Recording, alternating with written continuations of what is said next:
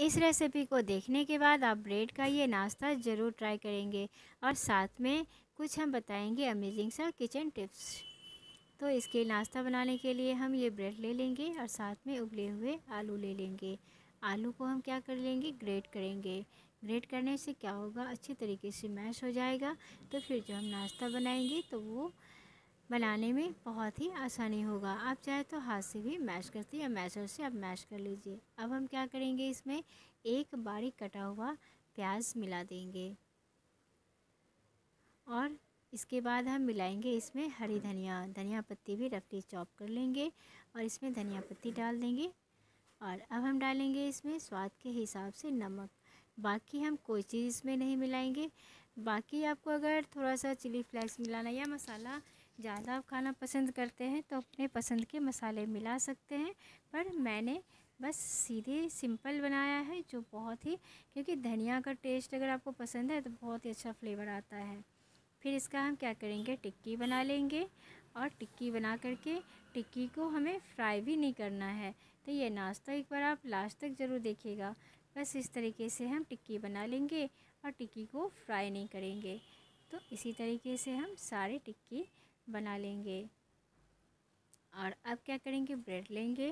और ब्रेड में हम क्या करेंगे? थोड़ा सा केचप लगा देंगे। पूरे में नहीं लगाएँगे, बस थोड़ा सा लगा देंगे। और उसके ऊपर बनाया हुआ टिक्की रख देंगे।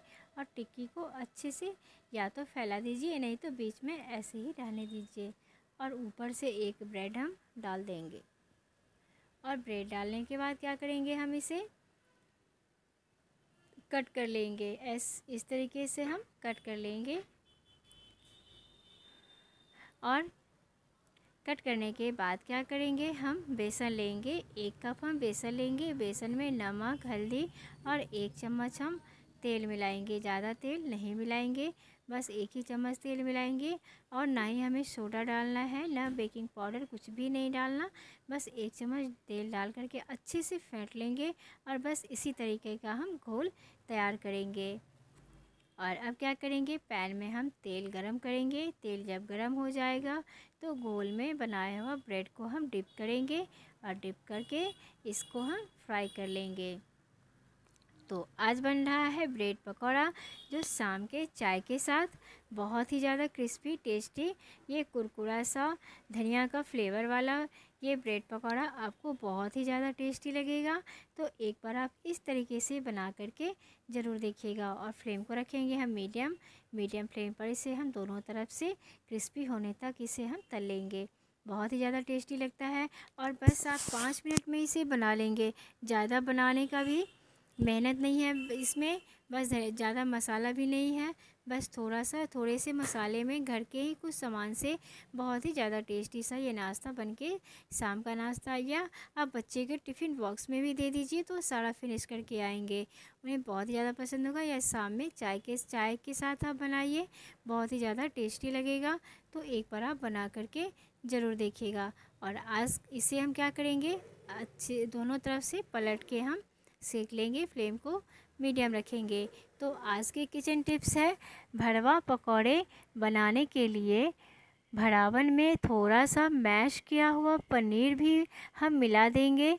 तो इससे पकौड़ों का स्वाद जो है, सो दोगुना हो जाएगा। और अब क्या करेंगे, दोनों तरफ़ से क्रिस्पी होने तक इसे हम तल लेंगे और हम इसे निकाल लेंगे। आप देख सकते हैं कि कितना प्यारा कलर इसका आ गया है। बस ये टेस्टी पकौड़ा बनके तैयार है। आप इसे चटनी के साथ सर्व करिए, ऐसे ही चाय के साथ आप खाइए, आपको बहुत ही अच्छा लगेगा। उम्मीद है कि मेरी रेसिपी आपको बहुत ही अच्छी लगी होगी। अगर रेसिपी अच्छी लगी तो वीडियो को लाइक शेयर एंड चैनल को सब्सक्राइब करना ना भूलिएगा। फिर खाइए, पीजिए, मस्त रहिए और मेरी रेसिपी को ट्राई करते रहिए। फिर मिलते हैं नेक्स्ट वीडियो में तब तक लिए बाय